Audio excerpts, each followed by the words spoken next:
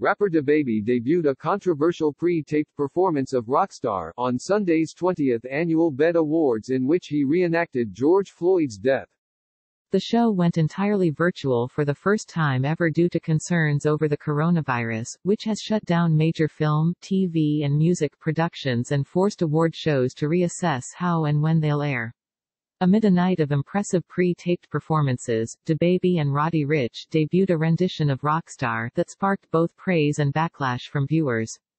The music video opens with DaBaby laying flat on the ground with what appears to be a white police officer kneeling on his neck. The image was an obvious reference to Floyd, who died in police custody on May 25 in Minneapolis.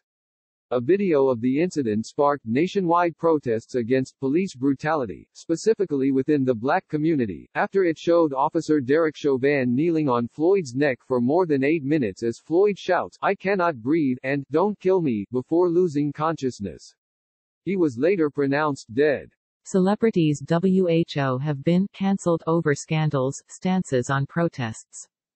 The remainder of DaBaby's video shows the artist performing atop a burning police car surrounded by masked protesters wearing shirts that read, Black Lives Matter, I am George Floyd, and more. Other parts of the video show police in riot gear clashing with protesters as DaBaby and Ricch perform amidst the chaos.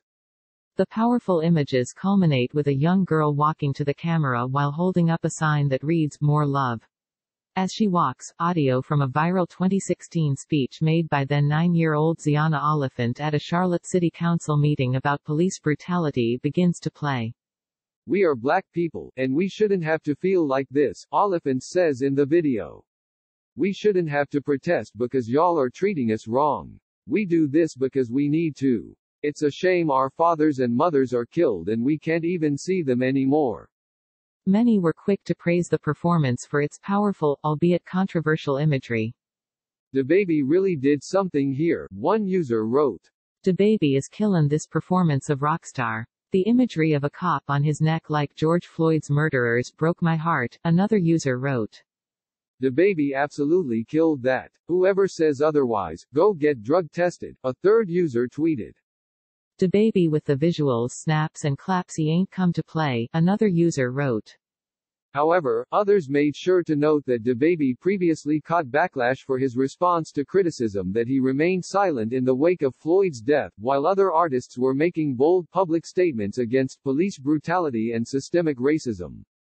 I always sit back and let the hype blow over before I give my insight so my perspective don't get confused with all the PPL who only speak for likes and comments, or to save face, or maybe because their PR department, label, or management told them they should make a statement.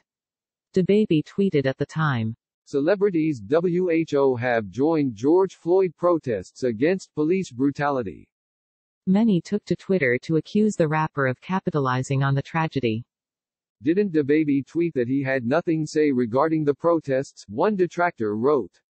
DaBaby been quiet this whole time, didn't say a peep about BLM and then had the audacity to reenact George Floyd's death on live TV, another user wrote.